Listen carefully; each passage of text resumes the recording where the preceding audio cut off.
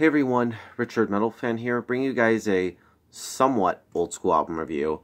Um, I just decided to review this album because this album had hit its, well, five year anniversary, well, today. I know it's weird, like, talking about an album that came out like five years ago today when it, I should be talking about like the 10 year, 15 year anniversaries, which I've done before. But yeah, I just decided to review this album because, you know, it's from one of my all time favorite bands period and I'm still kicking myself for review for not reviewing this when it first came out but hey better late than never right as you can see below the title today we're going to be looking into Everblack by the Black Dahlia Murder. This was released on July 11th, June 11th, 2013 through Metal Records. As you can see, my copy is signed by Trevor Strnad, Brian Eschbach, and Max Lavelle. But yeah, this is the band's sixth album, and it was the follow-up to uh, 2011's Ritual, which I thought was pretty good.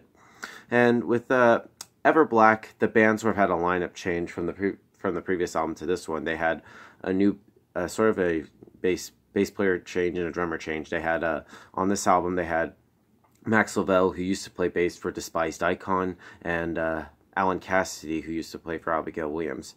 Now, of course, Black Dahlia Murder is known for having like uh, different lineup changes, and in my honest opinion, I think this is a really pretty good album. Like, honestly, thought this was their when I first heard the album when it first came out. I thought it was their best since Nocturnal. And damn, it's just really great. The production on this album is just superb. Like, like it's probably probably just very beefy, very crunchy. Just everything is where it needs to be.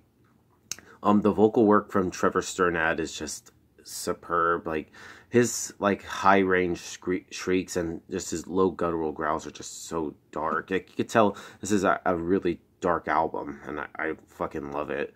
Um, guitar wise, Brian Eschbach and Ryan Knight come up with some really sick guitar riffs. Like the riffs that Brian comes up with are really great, and just the shredding from Ryan Knight is just amazingly good.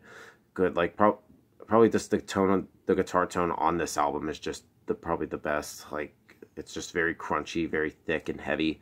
The bass playing the, is really audible and prominent. Like also with the guitar tone, the bass tone on this album just sounds fucking bitchin'. Like goddamn.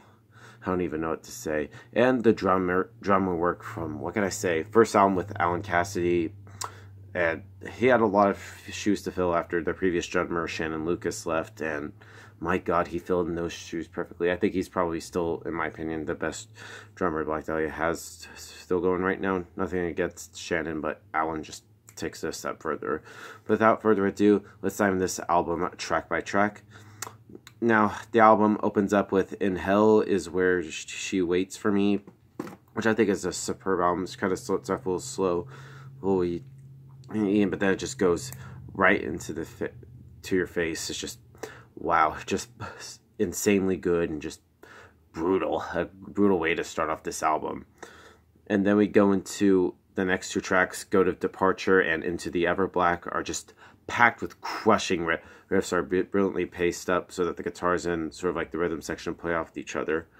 They're and just like the first two tracks alone are just instantly punches you in the fucking face and just god damn i just love it and then we go into the next song, which is Raped in Hatred by Vines and Thorns, which I feel like it's lyrically it's a theme song about sort of like the Evil Dead movies. It starts off with a very fluid melodic guitar intro followed by some crushing vo- vocals. So I just love Trevor's like deep gutturals come here in force and it just belts out those lyrics like a fucking demon. Perhaps one of the most melodic tracks on this album. Um Phantom Limb Masturbation. just a funny song. I just laugh every time I, I even hear that song. It's kind of similar to the song Into the Everblack. It has only has a funnier title, but sickening yet funny lyrics and an even better so, solo. And the lead sort of like takes you to sort of like a higher atmosphere, and it's so beautiful and has sort of like this eerie sound to it. Um, Control, another great song. Just love this, love it. Uh, um, uh, Blood Mine, which is just very just sludgy and just very heavy. I just love it, love it.